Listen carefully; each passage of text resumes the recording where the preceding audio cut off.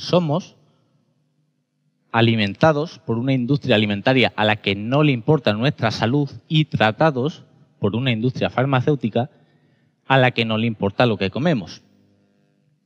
Y nos sometemos al consumo de alimentos que nos disparan el azúcar en sangre y nos hacen dependientes del mismo, porque nos sube la dopamina. Yo me tomo una galletita, un dulce, ese azúcar me da alegría, me hago que me sienta bien, pero en cuanto me cae el azúcar en sangre y me baja otra vez la dopamina y las hormonas de la felicidad, yo vuelvo a querer otra vez ese dulce, que es el mismo mecanismo que sucede con muchas drogas, pero con la alimentación.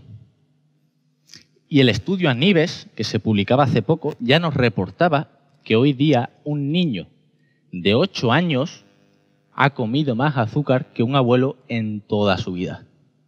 Porque es que hay que ir al supermercado para ver la alimentación y los productos dietéticos que ya no se ofrecen a niños, incluso a bebés. Ahora hablaremos de las leches de fórmulas, pero es que desde los cero días pone que se puede consumir, están repletas de harinas refinadas, azúcares y aceites de semillas. Claro, como consecuencia, las tasas de diabetes en los últimos 20 años se han multiplicado, en los últimos 50 años se han multiplicado por 20. La famosa diabetes del adulto, que es la tipo 2, ahora ya se le llama diabetes tipo 2, porque hay tantos niños que tienen esa diabetes que no le puedes llamar la diabetes del adulto. Y como decía, estamos en un sistema donde la industria alimentaria no le importa nuestra salud y nos trata la farmacéutica a la que no le importa lo que comemos. O es que no recordamos la publicidad que tenía el tabaco. Hoy día todo el mundo dice que es cancerígeno, que es malísimo, pero es que hace años los doctores y la industria farmacéutica nos decía que era una maravilla para la salud. Incluso la alimentaria decía que el niño ya podía tomar 7 que el colacao nutría, te vigoriza, te da energía, hasta que se le va cortando los pies, pero esto pasaba hasta hace nada. Y hoy día vemos en la tele la publicidad de otros productos para niños que no son el 7-Up, pero tienen sus mismos componentes. Por este motivo, del sistema en el que estamos metidos, es porque la industria, aquí tenemos, por ejemplo, la Asociación Española de Pediatría, que es capaz de dejarle su sello de colaboración a Chocopic, a Nestlé. ¿Para qué? Pues por el desconocimiento que hay, es normal que algún padre se pueda confundir y diga, claro, si la Asociación Española de Pediatría avala estos cereales, no puede ser malo. ¿Y cuál es la realidad? Que Coca-Cola, una noticia reciente también, ha pagado 8 millones de euros, y esto lo hará cada año, a asociaciones médicas y científicas en España, asociaciones médicas para que publiciten que el azúcar es bueno. Entonces, he dedicado esta conferencia a ocho mitos. Hay muchísimos más, pero no me daba tiempo a todo. Así que vamos a tratar de desmentirlos para que por lo menos os vayáis con otra idea. Sé que aquí muchos ya estáis metidos en este tema porque me seguís en redes sociales y tal. Otros iréis diciendo a lo largo de la conferencia, este tío está loco, ahora no se va a poder comer eso, ahora a mí me ha dicho mi médico que esto es buenísimo. Pero lo que quiero es dar un punto de vista diferente a lo que siempre nos ha dado el sistema y la formación reglada medicina, nutrición y salud. Y uno de los mayores mitos es que hay que evitar el sol a toda costa. Y digo, bueno, claro, si eres un vampiro, seguramente. Si eres un hongo, también va a ser nefasto para ti. Pero si eres humano y vives en el planeta Tierra, espero que así seáis todos, pues seguramente para ti sea medicinal. Porque el sol, sinceramente, no mata, mata la ignorancia. Es como decir, el que se ahoga en el agua se ha ahogado por culpa del agua y no porque no sabe nadar. El problema no es el sol, sino la mala relación con el mismo. Miles de millones de años tiene la luz solar y es lo único que ha permitido que haya vida, que crezcan los alimentos que nosotros comemos y que estemos aquí hoy día. Y ahora resulta que es el mayor problema que tenemos, que hay que ponerse bloqueadores todo el rato y hay que evitarlo a toda costa porque es malísimo. No, al contrario de lo que se dice, el sol cura. Por eso Niels River fue galardonado con el Premio Nobel de Medicina al ser capaz de curar la tuberculosis cutánea exponiendo simplemente a los pacientes al sol. Aquí podemos ver los cambios del antes y el después, que es una absoluta brutalidad. Mereció y galardonado con el Premio Nobel de Medicina. Pero es que aquí en Vizcaya se logró frenar la tuberculosis gracias al sanatorio de Gorlitz que se creó en la zona que más daba el sol de Vizcaya, más horas para poder poner los pacientes en camillas al sol y en ausencia de antibióticos poder combatir esa bacteria. Porque el sol tiene enormes propiedades antivirales y antibacterianas. Porque sin vitamina D el sistema inmune no funciona. Y lo que más vitamina D nos da no es la alimentación, no es esa pastilla sintética, es la luz solar, que como digo es la que nos permite que sigamos con vida. Lo mismo sucedía en el Hospital San Rafael en 1950, que relativamente a nivel medicinal no hace tanto tiempo de aquello. Sin embargo, esto ya no lo vais a ver en ningún hospital. Hemos sufrido una pandemia viral y habéis visto en algún sitio donde hayan puesto a los pacientes al sol, hayan visto su vitamina D o de una manera complementaria con herramientas naturales y gratuitas como es el sol, al menos hasta día de hoy, se haya podido ayudar a sanar a la gente. No. Pero el sol siempre ha sido alabado por multitud de civilizaciones, siempre ha sido adorado por la medicina, siempre. Y antes el sol no era un problema como ahora, era un tema de conocimiento médico. O mira Joaquín, que nació con un huevo defectuoso, como él dijo, y el médico pues le mandó poner todos los días a la madre, al niño al sol, 30 minutos diarios, con las bolas al sol porque uno no se había cuajado. Y así fue como se le formó, que lo contaba en el programa de Bertín Osborne. Y por eso cada vez más gente pues, está poniendo las bolas al sol. La realidad es que cuando el sol irradia la luz solar, cuando la luz solar irradia los genitales, producimos hormonas muy importantes para la salud sexual, como la testosterona, como los estrógenos, como el estradiol. Y también se ha visto que las mujeres que tienen niveles de vitamina D óptimos tienen cuatro veces más probabilidad de ser fértiles y de concebir cuando se someten a fecundación in vitro, porque se ha visto que la vitamina D también influye enormemente en la salud, no solo sexual, sino de fertilidad. Y el sol en general es medicina, porque nos aporta melatonina, no solo por la noche, que se piensa, como ahora veremos, que es solamente la hormona del sueño, sino durante el día, cuando por la mañana me expongo a la luz solar. Empiezo ya a producir melatonina, porque tiene una función antioxidante enorme, anticancerígena tremenda.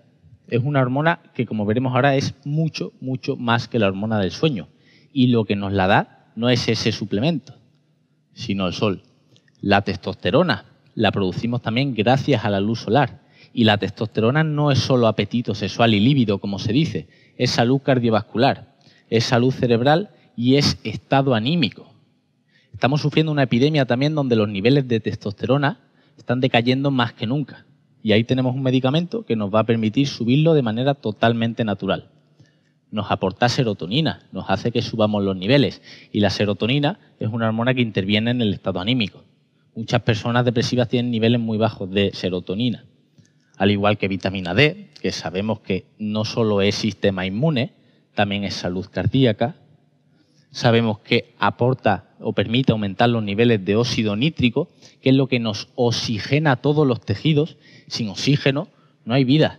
Y sabemos que cuando el sol contacta con la piel, aumentamos directamente los niveles de óxido nítrico. Eso oxigena tanto el cuerpo que nos da energía. Por eso nos sentimos también cuando nos exponemos al sol. Se ha visto que el óxido nítrico permite que la célula tenga mayores niveles de oxígeno. Y el oxígeno es lo que permite combustionar los nutrientes. Por eso quemamos grasa cuando tenemos buenos niveles de oxígeno. Al igual que permite aumentar las endorfinas que también intervienen en el estado anímico. ¿Qué es lo que se ha visto en muchos estudios? Que el problema es la mala relación que hay con el sol. Como nos han dicho que lo evitemos o lo tenemos ahí y no nos damos cuenta, estamos todo el año en espacios interiores y luego en verano nos quemamos. Eso no puede ser. Tiene que ser una exposición regular y habitual todo el año, todos los ratitos de sol que tengamos, exponiendo la piel poco a poco, de tal manera que genere tolerancia, que el cuerpo se amolde. Y luego llega el verano y no me achicharro. ¿Por qué? Porque la piel ha generado tolerancia y es ahí donde reside la buena relación con el sol. No le podemos culpar de nuestra irresponsabilidad y de nuestra mala relación con el mismo. Porque el sol ha estado siempre, el sol está aquí y el sol seguirá estando. O aprendemos a tener una buena relación con el sol o la cruzada que hay contra el mismo no va a acabar en buen punto. Como la cruzada contra los libros, como la cruzada contra los judíos. Estamos ahora en una época de la cruzada contra el sol. El sol debe ser el tema de conocimiento más importante. De hecho, incluso vemos que muchos eh, melanomas salen en la planta del pie y en la palma de la mano, que también son zonas que no suele dar mucho el sol. También otros estudios nos dicen que incluso por cada persona que fallece por exceso de sol, 57 mueren por falta de sol, sobre todo por la deficiencia mundial que tiene la población de vitamina D. Como decía Hipócrates, donde entra el sol, difícilmente entra el médico. O como decía Paracelso, la madre natura alimenta y cura. Realmente, donde entra el sol, el médico. Segundo mito, que es que la melatonina es solo la hormona del sueño. Todos la conocemos por eso, pero realmente hay mucho más. Se ha visto que esta hormona, que la sintetizamos bien cuando nos exponemos al sol y que la sintetiza no solo la glándula pineal, como se dice, sino nuestras mitocondrias, facilita la quema de grasa. Se ha visto que mejora mucho el sistema inmunológico. Se ha visto que repara nuestros tejidos, ya que promueve la autofagia. Veremos ahora dos premios Nobel galardonados por descubrir ese mecanismo de reciclaje que tiene el cuerpo de reparar tejidos y células dañadas para obtener nuevas células y nuevos orgánulos funcionales. El cuerpo humano es maravilloso, si no, no habríamos evolucionado así. Tiene un papel antitumoral y anticancerígeno. Promueve la salud de nuestras mitocondrias. Qué importantes son nosotros. Tenemos en cada célula en torno a 400, 600 o incluso miles de mitocondrias, que son las centrales energéticas del cuerpo que nos permiten obtener energía, las que nos permiten quemar los nutrientes y obtener el ATP que luego nos da la energía. De hecho, la leche materna, que por algo es el primer alimento que nos llevamos a la boca tan natural, se ha visto que está repleto de melatonina, porque influye en la salud metabólica del bebé, en la salud inmunológica y cardiovascular. Y se ha visto que los alimentados con leche materna luego son menos propensos a engordar a lo largo de la vida. Y la leche materna es tan fascinante que cuando el bebé enferma, por los receptores de la mama, la madre produce anticuerpos, de ahí que tenga un color más amarillento como vemos en comparación con la leche cuando el bebé está sano, que le protegen al bebé de la infección. Pero claro, ahora nos dice la industria que le podemos dar esto desde el primer día y no nos ofrecen otras soluciones, tanto como algunas fórmulas de leche de cabra hidrolizada, hay unas fórmulas muy logradas que no se divulgan tanto y estamos con unas en el supermercado que tienen azúcares, harinas y aceites de semilla. Al igual que se nos dice que los niños, ahora ha pasado, que se les ponga siempre mascarilla, lo hemos visto en los colegios, en clase, a niños con edades muy tempranas y alejados de los compañeros y que así les debilitamos el sistema inmune. Se ven los estudios que los niños que se crían, por ejemplo, en zonas rurales con más suciedad, son menos propensos a desarrollar enfermedades autoinmunes, a desarrollar asma, a desarrollar diabetes y tienen mucho menos riesgo. ¿Por qué? Porque es así como se fortalece el sistema inmune, con la suciedad.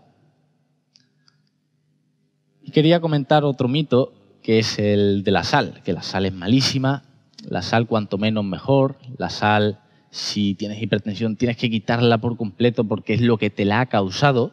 Sin embargo, históricamente la sal está al nivel del sol. Ha sido muy importante, por algo se cambiaban esclavos por sal. De algún lugar viene la palabra salario. De, algún, de alguna manera podíamos conservar los alimentos en ausencia de refrigeración, como la salazón, que lo hacemos hoy día con el jamón. La sal ha sido importantísima y se ha visto que históricamente se consumía mucho más que ahora y ahora que la estamos restringiendo más que nunca porque nos dicen que es malísimo y todo bajo en sodio, el agua es extremadamente baja en sodio, es cuando más se han disparado los casos de hipertensión. Quizá probablemente no sea la causa.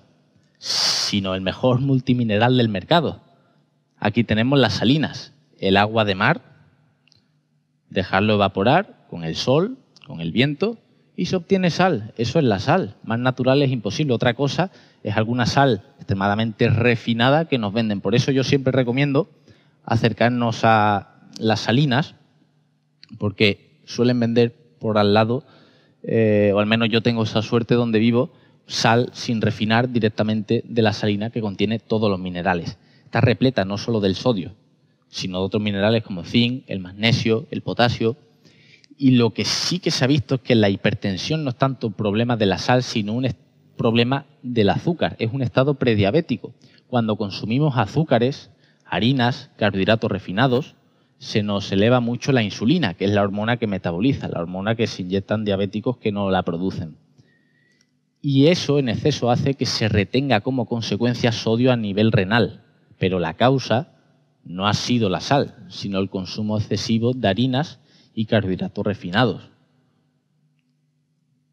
Entonces se piensa que la sal simplemente sube la presión arterial, que más de 5 gramos al día te causará hipertensión sí o sí, y que te va a hacer morir joven y que he visto yo multitud de veces a algún crío comercial y para decirle, ¿quieres que te dé un infarto a los 20 años? Pues esos son mitos que nos han ido metiendo, pero realmente la sal lo que hace es permitir la asimilación de los nutrientes, gracias al sodio, equilibrar los líquidos del cuerpo, permitir el transporte y la transmisión del impulso nervioso, la contracción muscular, muy importante en deportistas sobre todo, y luego a larga distancia donde se suda mucho y se pierden muchos minerales, mantiene el pH estomacal, permite la adecuada producción de energía, nos mejora mucho la sensibilidad a la insulina, nos hidrata, nos mantiene un correcto balance. Realmente la sal es maravillosa, tiene todas estas funciones en el organismo. Yo la sal no la puedo fabricar como sí puedo fabricar el azúcar, porque en mi hígado, si yo no le doy azúcar y carbohidrato, tiene un proceso que se llama gluconeogénesis que permite producir glucosa. Por eso, azúcar yo no necesito. Tu cerebro necesita glucosa, sí, pero la produce tu hígado. No necesitas consumir un mínimo. Con la sal no sucede lo mismo con el sodio, que es un mineral realmente esencial que si no lo aporto a través de la alimentación puedo tener problemas. De hecho, nuestras eh, células están bañadas en fluidos de sal. Nosotros lloramos sal, lágrimas son saladas. Nosotros sudamos sal, el cuerpo está repleto de sal y la sangre tiene la misma composición mineral que el océano, porque el sodio es determinante en la salud. Claro, ¿qué sal tomar? Bueno, pues hay una diferencia entre la refinada y la real, porque la refinada a veces la blanquean, bastante más barata, es un blanco muy uniforme, coges así la sal y es extremadamente uniforme y blanca, se mueve con mucha facilidad, puede contener ciertos antiglomerantes, toxinas y sustancias que les añaden para blanquearlas, más bajo contenido en mineral. Y la sal real, por ejemplo, que vemos ahí entera en mineral, es una sal que proviene de yacimiento interior o de la salina, es húmeda y suave, tiene mayor contenido en minerales, no tiene tantas toxinas más que las que pueda tener del mar. Y son ejemplos la sal de pueblo, la sal de Soria, del Himalaya, la Redmond, la Celtic y todo ese tipo de sales. Como decía René Quintón, de ahí la palabra quintón hipertónico, que era un fisiólogo que fue el que inventó el quintón hipertónico, que es esa, esa botellita de agua de mar que nos bebemos para ese chute de minerales que necesitamos para tener energía, como tratamiento terapéutico que hacía él en multitud de niños que tenían problemas por no consumir suficientes minerales, o como hacen muchos deportistas antes de una prueba de mucho esfuerzo para ir bien cargados de sodio y ciertos minerales que necesitamos. El medio marino es el ecosistema más grande del planeta, donde se originó la vida. Algo tan natural como la sal real, al igual que el sol, no puede ser tan malo. Aquí tenemos otro mito importante, que es que la grasa causa problemas cardíacos, que hay que evitarlo a toda costa. Cada vez menos, pero hubo un tiempo atrás que se prohibía a tope el consumo de grasa saturada, colesterol, incluso otro tipo de grasa, que se decía que solo comer grasa te hace acumular grasa. Claro, a muchos la lógica le llevaba a que si consumo grasa, acumulo grasa, pero no era más que desconocimiento bioquímico y del cuerpo humano porque nosotros no funcionamos así. El caso es que, una vez más, ya salió a la luz también recientemente unos papeles de una industria azucarera muy importante de Estados Unidos que había pagado a los científicos para culpar a la grasa en los estudios de los problemas cardíacos. Y ahí fue en los años 50, 60, 70 que empezaron a decir que el azúcar era maravilloso, que tu cerebro lo necesita sí o sí y que tenías que evitar la grasa a toda costa porque era la culpable de todos, todos los males relacionados con el corazón. Y se creó la pirámide alimentaria, que no la creó un grupo de expertos, tampoco una serie de científicos, siquiera un consenso, la creó el Departamento de Agricultura de los Estados Unidos, que ya veis qué relación tendrá con la salud, si no es otra que vendernos sus productos agrícolas poniéndolos en la base.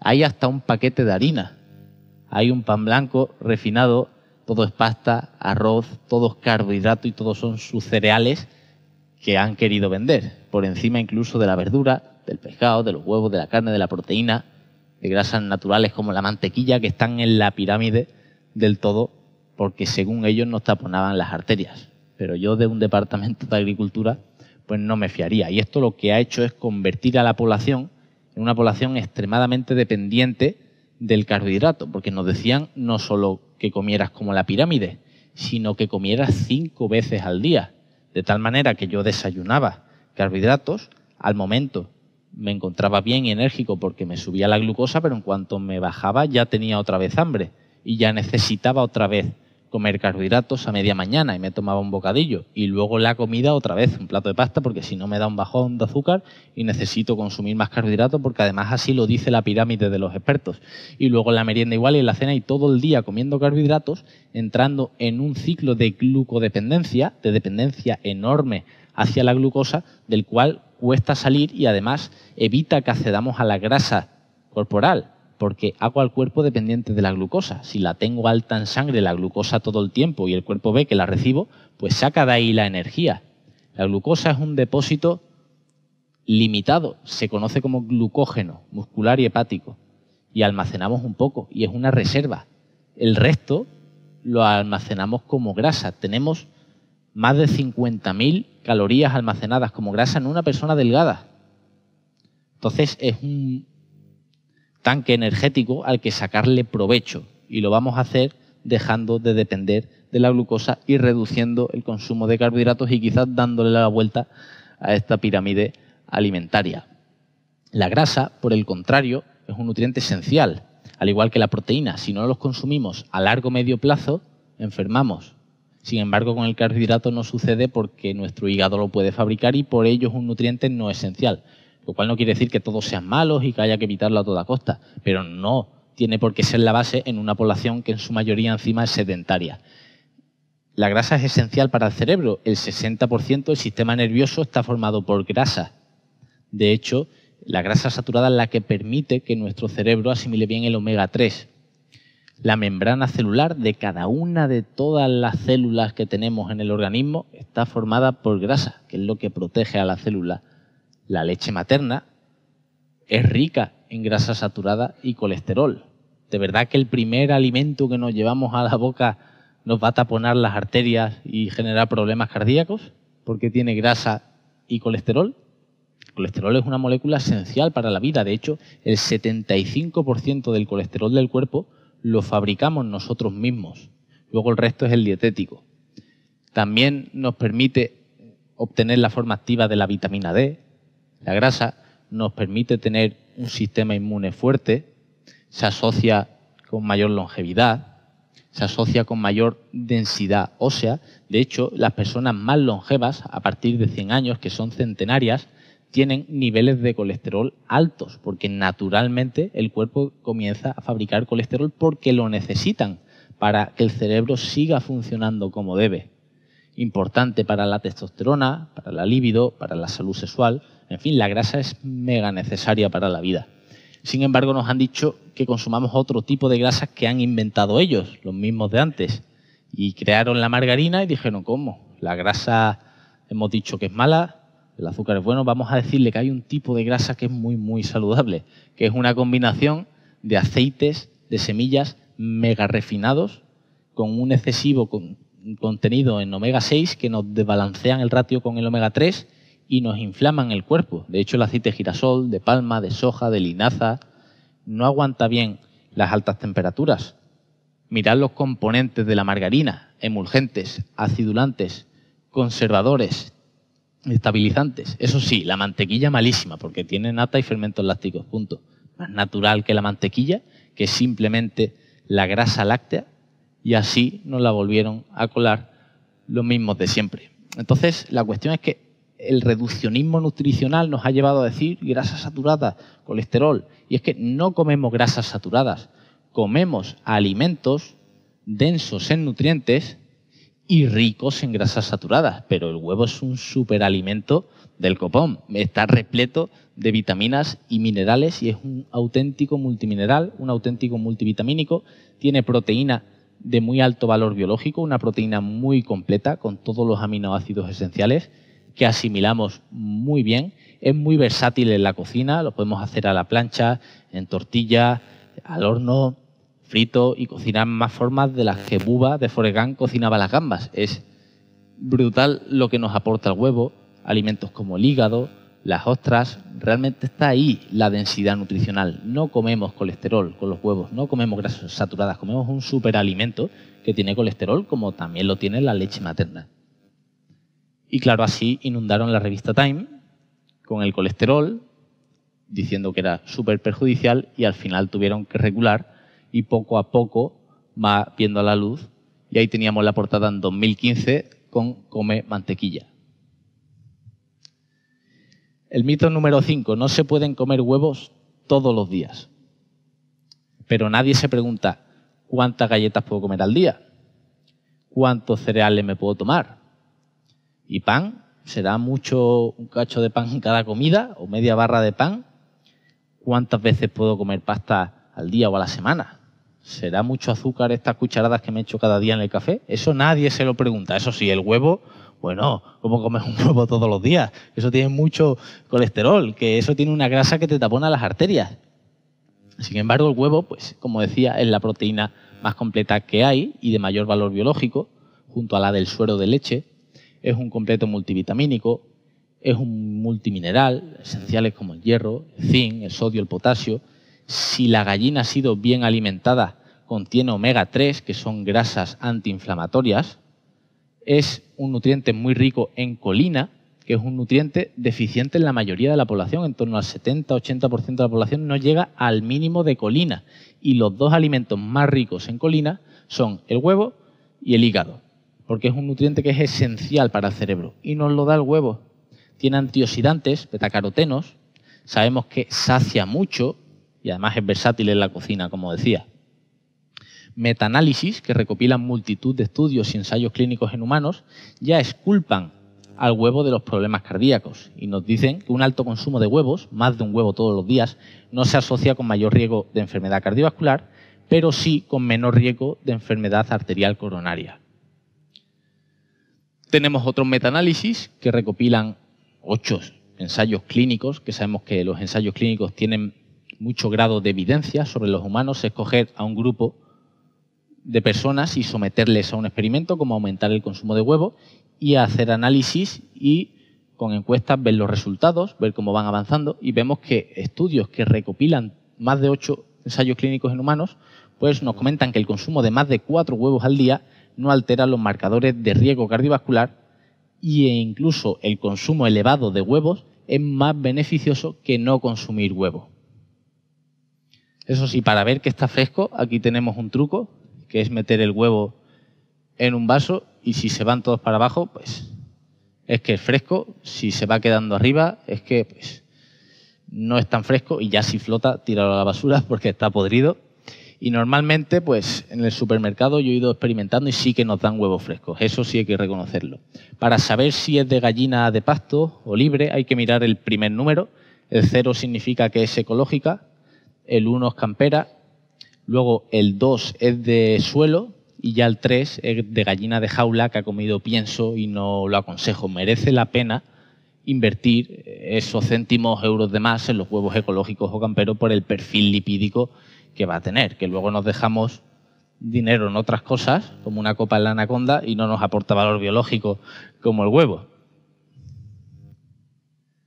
Otro gran mito es que el colesterol es el mejor indicador de riesgo cardiovascular. ¿Cuántas veces se ha dicho eso y cuánto susto se mete con los niveles de colesterol en la analítica? Hay mucha gente, y yo he visto en pacientes, que estabilizan su diabetes, su glucemia, la glicosilada, pierden mogollón de kilos, ya están en un porcentaje de grasa sano, tienen energía, los triglicéridos súper bajos, el HDL alto muy bien, sin inflamación, pero ah, el colesterol por encima de 200, estás peor que nunca, tienes que tomar estatinas, esto no es normal, vas a tener problemas. Claro, aquí tenemos el anuncio de Lipitor, la estatina, que nos decía que reducía el riesgo de ataque cardíaco en un 36%. Así nos lo dijeron. Sin embargo, yo me he adentrado en el estudio y aquí no hay un 36% de riesgo real y absoluto, sino del relativo, el que no tiene tanta importancia. Veíamos que el riesgo real, el riesgo absoluto, era de una diferencia del 1%, es decir, de cada 100 personas que tomaron estatinas, pues, dos tuvieron infartos. De cada 100 que no las tomaron, tres tuvieron infartos. Veíamos que la diferencia era entre ambos de un 1%. Realmente usaron la estadística para hacer un riesgo relativo y tergiversar las cosas como siempre hacen y decir que reducían un 36% de riesgo relativo los problemas cardíacos. Pero realmente sabemos otra vez que son intereses económicos. Por eso ese mismo año que se lanzaron las estatinas al mercado se reunió un comité de expertos y dijeron que no, que eso que de tener el colesterol en 300 era un disparate, que esos niveles son muy altos, que había que bajarlo a 280, a 270, a 250. Hoy ya va por 200, mañana será 180 y llegará un momento que te pidan menos de 100 o que te digan, como escuchó un cardiólogo, que se puede vivir sin LDL en sangre, que son auténticas burradas.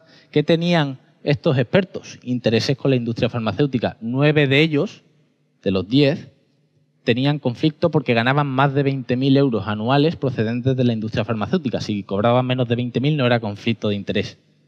Y esos son los que hicieron las recomendaciones de la analítica, decir que a partir de 200 de colesterol tenemos un problema y hay que consumir estatinas. Sin embargo, vemos en los estudios, este de la izquierda es de 136.000 hospitalizaciones, donde los que tenían niveles de LDL, el colesterol malo conocido así, la mayoría que había infartado, que se recopilaron 136.000 hospitalizaciones, tenían los niveles normales y saludables de LDL.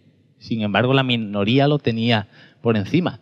O tenemos otros estudios que nunca nos muestran, que nunca hay debate al respecto. No es que yo tenga la verdad absoluta, sino que no está claro y hay que debatir, donde vemos mayor mortalidad en personas con mucho menores niveles de colesterol, pero nunca comentan estos estudios. Sin embargo, tampoco nos dicen los efectos adversos de las estatinas. El prospecto sí, pero nunca los leemos. Entonces se ve que perjudican las mitocondrias, esas centrales energéticas que os mencionaba que son tan importantes, agotan la vitamina K2 del cuerpo, que es la que evita que se dé la calcificación arterial. Las arterias, hay un premio Nobel que descubrió que aplicando vitamina K2 en un experimento en gallinas no tenían problemas cardíacos.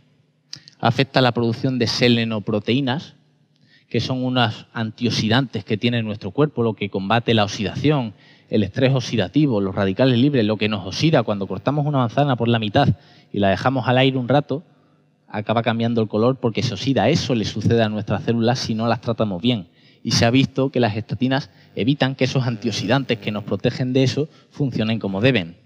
E incluso no reducen las partículas de LDL que son más heterogénicas. Hay unas pequeñas muy densas que son mucho más heterogénicas que otras que son más grandes. Y se ha visto que cuando comes más grasa saturada aumentan más cantidad de las partículas grandes que no son heterogénicas, como las que sí lo son, que sucede cuando comemos azúcares y carbohidratos refinados, las que aumentan. ¿Qué marcadores importantes tenemos para medir? Pues la presión arterial, ese sí que es un marcador que ya os digo yo que no falla. Igual o superior a 130-85 tenemos problemas. El colesterol HDL bajo es otro problema, ya que es conocido vulgarmente como el colesterol bueno, porque es realmente saludable, debe ser menor a 40. Los triglicéridos elevados, superior a 150, porque esa es la grasa que realmente nos acaba taponando las arterias. La glucemia elevada, superior a 100-120, es otro marcador de riesgo, o la hemoglobina glicosilada. El perímetro abdominal elevado, otro marcador de riesgo superior al colesterol. incluso la vitamina D muy baja. Sin embargo, muchas veces sale todo esto perfecto y el colesterol un poco más elevado porque ahora comemos más grasas. Y ahora se dice que estás peor que nunca y que tienes problemas y que tienes que tomar estatinas. No tiene sentido. También vemos que la prevalencia de diabetes en Estados Unidos coincide, como vemos en lo que más rojizo está y más color tiene, con la prevalencia de enfermedad cardíaca, porque se ha visto que glucosa y vitamina C tienen la misma forma molecular y compiten por absorción. La vitamina C es lo que nos permite formar colágeno, lo que tapiza nuestras arterias, tapiza para que no tenga problemas cuando tenemos el azúcar alto todo el rato en sangre y no controlamos nuestra condición o comemos muchísimos azúcares y llevamos una alimentación muy alta en carbohidratos, no asimilamos bien la vitamina C. Y a largo plazo, si no optimizamos la alimentación o suplementamos, pues podemos tener problemas con la síntesis de colágeno que tapiza la arteria y que se genere la grieta en el endotelio por no sintetizar colágeno y se puede acumular la grasa y tener como consecuencia arteriosclerosis. Este mito es de mis favoritos, que es que la carne roja, otro alimento que también ha estado siempre y que nos ha permitido desarrollar el cerebro y estar aquí hoy día, es extremadamente cancerígena. Sin embargo, como digo, el humano logró recortar el tamaño del tracto digestivo, por eso no somos una vaca que tiene cuatro estómagos para digerir la celulosa, la hierba, el pasto que come y obtener energía del pasto. Tú comes solo pasto y te mueres porque no obtienes de ahí energía. Y luego te pasarías horas y horas en el baño porque la fibra tampoco la asimilas. Simplemente la desechas. Sin embargo, nosotros tenemos un tracto digestivo muy parecido al león, que es carnívoro, porque tenemos un pH estomacal muy, muy ácido, que nos permite digerir muy bien la proteína, hacer que la carne, que evolutivamente tomábamos poco hecha, no nos infecte de las bacterias que tiene, gracias a toda esa acidez estomacal que acaba con esas bacterias. Y permite que asimilemos el hierro, la vitamina B12, los nutrientes de la carne, nuestro pH digestivo, porque somos mucho más parecidos a un carnívoro que a un herbívoro, sin duda. así somos omnívoros y podemos comer vegetales y productos animales. Y siempre nos sacan los estudios en los que la carne sale mal parada, siempre, los de la OMS. Sin embargo, los estudios que nos dicen que la relación entre el consumo de carne y cáncer es inversa, no nos lo suelen mostrar. Sin embargo, la carne es un superalimento, está repleta de nutrientes exclusivos, como la creatina. La carnosina, poco se habla, es un grandísimo antioxidante, solo está en los productos de origen animal. La taurina, otro gran antioxidante. El colágeno, por ejemplo, está en productos de origen animal. La vitamina B12 en los productos de origen vegetal no la tenemos en suficiente cantidad. El zinc, la forma hemo del hierro, por eso cuando tenemos anemia ferropénica, ¿qué nos recomiendan? Comer carne roja e hígado, porque son los alimentos ricos en hierro hemo, que es la forma de hierro más biodisponible y que mejor asimilamos. Sin embargo, nos han dicho mucho que consumamos lentejas porque tienen mucho hierro. Sí, tienen hierro, pero la forma no hemo, del cual se asimila mucho menos que la forma hemo que tienen los productos de origen animal. Además, la carne también es neuroprotectora gracias a ese nutriente que mencionaba que es la carnosina, que se ha visto que tiene un poder neuroprotector y antiglicación. ¿Y qué es eso de antiglicación? Cuando yo tengo el azúcar alto en sangre, comienza a caramelizar mis tejidos. Literalmente caramelización. De ahí la palabra hemoglobina glicosilada, que es medir la cantidad de azúcar pegado a una proteína que tenemos en nuestro cuerpo. Si hemos abusado de los carbohidratos, la tendremos alta. Si tendremos diabetes, la tendremos alta. Se ha visto que la carnosina de la carne tiene un poder para evitar esa ración de la glucosa con esa proteína antiglicación tremendo. Un alimento espectacular para los diabéticos y personas que quieren bajar el azúcar en sangre. ¿Cuál es el problema de la epidemiología y estos estudios en contra de la carne? Que vemos que no son ensayos clínicos como los que mencionaba, donde cogemos a un grupo de personas, las ponemos a comer carne, les hacemos análisis, le damos unos meses, años comiendo carne y luego vemos si realmente hay problemas con el colon, problemas cardiovasculares, problemas diabéticos, se les controla bien la alimentación, el estilo de vida, todo se tiene en cuenta para sacar conclusiones, que es lo científico, lo, lo lógico y lo honesto. Sin embargo, la epidemiología son encuestas telemáticas o telefónicas donde se les pregunta a personas por tal hábito como comer carne y de ahí sacan las conclusiones de que los que más carne comen, pues más problemas tienen cardiovasculares. Y resulta que la carne son hamburguesas del McDonald's, son nuggets de pollo, son salchichas, son embutidos de baja calidad y el resto de la alimentación es mala. Y vemos que, claro, hay personas que comen carne, pero el resto de su estilo de vida es malo y como consecuencia tienen problemas, pero no podemos culpar a la carne de ello, porque hay otras personas que sí comen carne y el resto de su estilo de vida lo cuidan y no tienen esos problemas.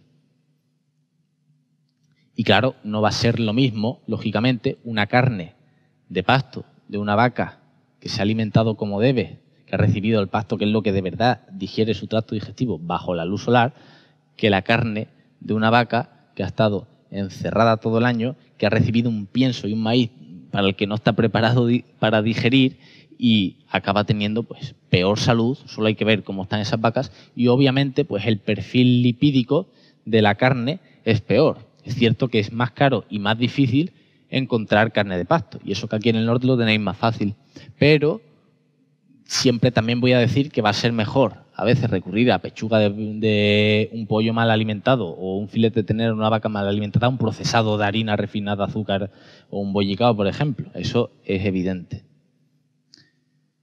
Y esta se me ha colado aquí. Y otro mito muy importante y que quería comentar es que el cerebro necesita azúcar. Siempre nos han dicho, el cerebro necesita azúcar. Pues no, no necesita carbohidratos, necesita glucosa y la glucosa la produce nuestro hígado. Cuando nosotros dejamos de comer carbohidratos, pan, harina, pasta, azúcares, el hígado empieza a fabricar la glucosa que necesita y cuerpos cetónicos, que son unas moléculas que usamos como energía, que las extraemos de nuestra propia reserva grasa. De tal manera que el cerebro, consumiendo carbohidratos, vemos que usa en un 100% de sustrato energético glucosa, como vemos a la izquierda, y cuando le quitamos los hidratos, pues ya reduce el consumo de glucosa, esa poca glucosa proviene de la glucosa que ha creado el hígado, y el resto, en torno al 70%, viene de los cuerpos cetónicos, que son esas moléculas que creamos cuando no consumimos carbohidratos. Simplemente las traemos de nuestra grasa y punto. Pero claro, nos han dicho, come azúcar, come azúcar. Pues tenemos una reserva de más de 50.000 calorías en una persona con un porcentaje graso bajo, como es la grasa corporal, a la que sacarle provecho y que nos va a aportar todos esos nutrientes para el cerebro y yo voy a funcionar perfectamente, porque si no ahora no podría estar aquí dando esta conferencia, porque no he consumido glucosa. Sin embargo, la glucosa, el glucógeno, es un combustible muy limitado que está destinado para lo que está, para momentos que evolutivamente eran de huida, de urgencia, de lucha. Por eso, pues un deportista está bien que pueda ciclar carbohidratos y grasas y que vaya con el glucógeno lleno estratégicamente para usarlo cuando debe, no para estar dependiendo todo el rato de glucosa que necesite chutes de geles de glucosa y de Powerade continuamente porque no es capaz de usar la grasa eficientemente como energía. Ahí es donde reside lo que se conoce como flexibilidad metabólica. Necesitamos un metabolismo flexible que acceda a la grasa y a la glucosa de manera eficiente, que yo mañana haga ayuno intermitente, por ejemplo, por la mañana y pueda hacer ejercicio rindiendo bien sin haber consumido carbohidratos. Pues es algo que cuesta. ¿Por qué? Porque hay que trabajarlo, porque venimos de años y años consumiendo mucho carbohidrato. Entonces el cuerpo está como muy adaptado a ello y esa transición a tener energía, a poder hacer un ejercicio físico sin y poder ir a trabajar simplemente sin desayunar, que mucha gente no puede. Hay quien se marea subiendo unas escaleras por la mañana y es por eso, por esa glucodependencia que tenemos y poca capacidad de usar la grasa como energía. Además, durante el ayuno intermitente, que simplemente saltar la cena, lo que evolutivamente siempre hemos hecho cuando se va el sol, no como ahora que cenamos tarde y mal, se promueve la autofagia. Hay dos personas que han sido galardonadas con el premio Nobel. Ahí tenemos Christian de Dube y tenemos Yoshinori Osumi, que descubrieron y describieron los mecanismos de la autofagia, que es ese proceso de reciclaje que se da en el cuerpo cuando no comemos. Es maravilloso, cuando el cuerpo no recibe nutrientes, dice, pues los voy a sacar yo. ¿De dónde? De todos esos orgánulos, células defectuosas, digamos que se come a sí mismo y obtiene nuevas células y nuevos orgánulos funcionales. Es un proceso de reciclaje. Por eso, como esta mañana comentaba mi amigo y compañero Andica Montiel, cada vez se dan más ayunos terapéuticos más prolongados para ciertas personas como terapia, básicamente, para promover esa autofagia. Entonces, ¿cuáles son para mí ocho pilares? Yo, la alimentación, para la gran cantidad de personas y la mayoría que recomiendo es low carb, que es más bajo en carbohidratos, y significa priorizar grasas saludables, aguacate, aceite de oliva, aceitunas, aceite de coco, cacao de alto porcentaje, vegetales, todo tipo de verduras, a poder ser ecológicas y más en biocultura, eh, de buena procedencia. Tenemos proteínas de alto valor biológico como el huevo, el pescado que también tiene una grasa omega 3 maravillosa y hay que priorizar desde mi punto de vista pescados pequeños porque son los que son salvajes, porque los muy grandes son alimentados en piscifactorías con un pienso poco saludable, altamente inflamatorio, que no me gusta y además suelen recibir antibióticos y otros medicamentos que estropean un poco el pescado y sería mejor pues eh, la sardina, la anchoa, la caballa y todo ese tipo de pescado que es pequeño y que no lo hay en piscifactoría y que de momento hoy lo tenemos salvaje. Luego tenemos la carne de pasto, tenemos los huevos, me gusta el ayuno intermitente, me gusta hacer dos, tres comidas nomás, distanciar para quien no haya iniciado en los ayunos y venga de comer cinco o seis veces al día, pues el simple hecho de adelantar un poco la cena y retrasar el desayuno ya está haciendo que el cuerpo promueva esa quema de grasa, promueva esos mecanismos de autofagia, gane esa flexibilidad metabólica que comentaba y llega un punto que un día salta la cena y está perfecto y hace menos ingestas, pero más contundentes. La importancia no está tanto en la cantidad de la alimentación, sino en la calidad, porque la densidad nutricional es lo que determina la calidad de nuestra alimentación y el huevo, el pescado, el hígado, el marisco, las ostras están repletas de nutrientes y a veces con menos cantidad en un plato nos hemos metido muchísimos más nutrientes que otro plato seguramente de macarrones con tomate de supermercado y salchichas que toma mucha gente y piensa que se está nutriendo bien. Pues no, realmente no. Luego tenemos la higiene circadiana, somos seres diurnos y hacemos nuestra vida durante el día y por la noche descansamos. Por eso es importante ponernos a la luz natural lo máximo posible. No hace falta que haga sol para ponerme a la luz natural. Simple hecho de dar paseos por zonas eh, de naturaleza, ponernos a trabajar cerca de la ventana, por ejemplo. Se han hecho estudios en oficinas donde los trabajadores que están cerca de la ventana también tienen mayor salud metabólica y tienen mayores niveles de melatonina por respetar los ritmos circadianos y recibir la luz natural que aquellos que están encerrados en oficinas donde solo le da la luz artificial todo el día. Entonces, todo lo que sea exposición a la luz natural, y como digo, con responsabilidad, que nos dé el sol todo el año para que la piel genere tolerancia, nos va a venir muy bien. En cuarto lugar tenemos el ejercicio. Hay gente que me dice que no le gusta entrenar la fuerza. Entonces, al menos que haya movimiento. Yo suelo recomendar la fuerza porque solemos ganar masa muscular. Hoy tenemos una epidemia también de sarcopenia, no solo personas delgadas, sino también obesas. Y ahí viene la diabetes tipo 2, la resistencia a la insulina, la pérdida de masa muscular. ¿Por qué? Porque hay pocos receptores a esa hormona que se conoce insulina. Cuando entrenamos, sometemos al músculo a una tensión mecánica, este se ve obligado al final a crecer y crea nuevos receptores de insulina, nuevas células y metabolizamos mucho mejor el azúcar. Entonces ahora sí que tendremos espacio de glucógeno para guardar la glucosa, porque hemos ganado masa muscular o porque entrenamos al músculo de tal manera que hace el efecto esponja, captando el agua, como hace una esponja, pues nosotros con la glucosa y la captamos mucho mejor, la metemos en el músculo y no tenemos esos problemas metabólicos. Por eso al menos lunes, miércoles, viernes, por ejemplo, tres días a la semana, algo de ejercicio fuerza, media hora, ¿vale? No hace falta estar dos horas en el gimnasio y competir en calistenia para, em, quería decir, eh, a competir en alterofilia y esas cosas para entrenar la fuerza. Simplemente con eh, lo podemos hacer con nuestro propio peso, haciendo unas flexiones, unas sentadillas. Podemos hacer otros deportes que impliquen la fuerza. O podemos hacer pesas y máquinas en nuestra casa, en el gimnasio o con gomas, que está implicando una tensión mecánica en el músculo y que me está dando todos esos beneficios que estaba comentando. En quinto lugar, la gestión del estrés. A mí me parece importantísimo porque puede que esté haciendo todo bien y no encuentre los resultados que quiero a nivel de salud y estético por el estrés, que me dispara el cortisol, que es una hormona que el cortisol a largo plazo acaba disparando el azúcar, que me dificulta mucho dormir bien y que el sueño sea profundo y reparador, que me dispara los niveles de glucosa y que me debilita el sistema inmunológico.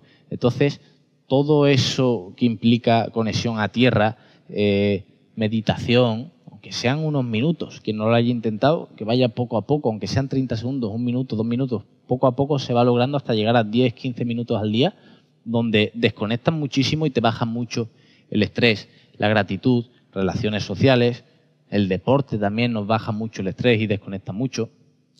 Luego tenemos otra herramienta espectacular que es la conexión a tierra, que es el simple hecho de andar descalzo sobre la naturaleza, todo lo que sea eh, playa, eh, césped, barro, agua.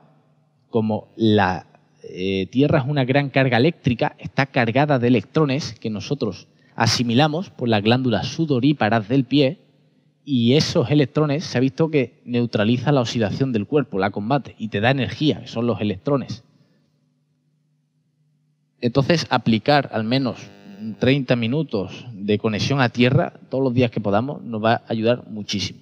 Séptimo lugar, por supuesto, el descanso, porque por la noche es cuando el cuerpo se repara. Todo el atleta profesional sabe que si come bien y entrena bien, pero no duerme, no se recupera y menos cuando se lesiona. Entonces, priorizar también el descanso es importante y esas horas nocturnas que estamos con las pantallas artificiales y demás por la noche y son además las horas menos productivas, pues normalmente sobran. Además, esas pantallas hacen que el cuerpo siga pensando que es de día, porque recibe tanta luz de la pantalla que la melatonina no se produce como debe. Pues dice todavía es de día y todavía no toca irse a la cama. Entonces no me entra sueño, duermo eh, mucho peor, el sueño es menos profundo y menos reparador y por tanto es interesante evitar las pantallas artificiales por la noche o al menos si no me queda otra opción porque mucha gente trabaja con el ordenador y tiene que quedarse más tarde o tiene que hacer alguna tarea importante, son las gafas bloqueadoras de luz azul, las Blue Bloques, o también hay apps y aplicaciones en ordenadores y móviles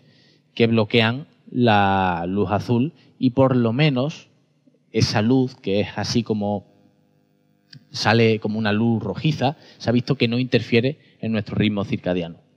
Y luego, en última instancia, la exposición al frío y al calor, porque tenemos una cosa que se llama hormesis. Cuando nosotros estresamos al cuerpo puntualmente, este luego responde muy bien. Y el balance hormonal es bueno. Por eso nos encontramos también cuando hemos hecho ejercicio. En realidad, el ejercicio es un gran estresante. Y yo haciendo ejercicio no disfruto mucho. Sin embargo, por la tarde, si lo he hecho por la mañana, me encuentro como muy bien y más alegre. Es por eso, porque el cuerpo, si lo estresamos puntualmente, luego las hormonas del placer, la felicidad, se disparan.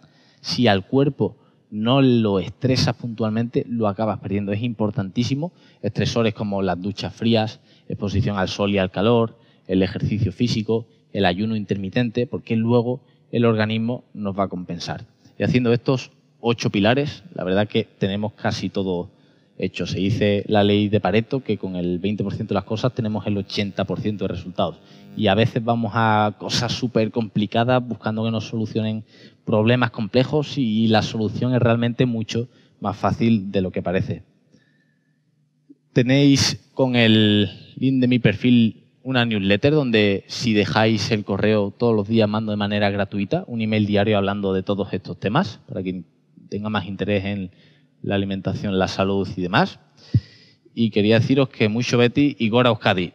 Muchas, muchas gracias a todos por asistir. Obrigado.